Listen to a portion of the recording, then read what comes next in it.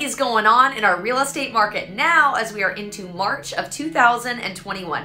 Now, before we get started, please don't forget, hit that button, ring the bell, and make sure that you are subscribed so you never miss one of our awesome and informative video uploads. Hi, everybody. I'm Tara Coyle with Coyle and Verberne Real Estate and eXp Realty. Well, guess what? This market is not slowing down. In fact, it continues to remain stronger than ever.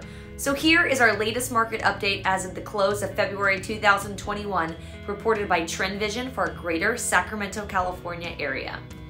Well, we saw a 19.4% increase in average home prices from this time period last year in February of 2020, and we're now sitting at an average home price of $561,000.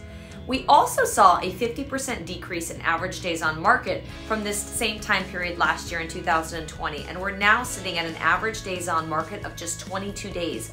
This is down 22 days from the same time period last year in February 2020.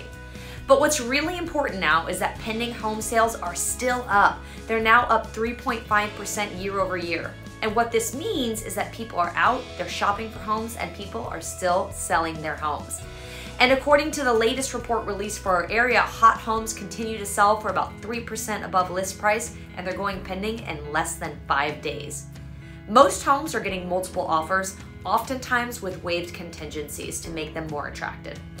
Now, according to the Sacramento Association of Realtors, the number of local homes, condos, and townhomes sold in February was 1,516, a 1.3% increase from the same time period last year, and there are now 1,049 homes for sale in our region.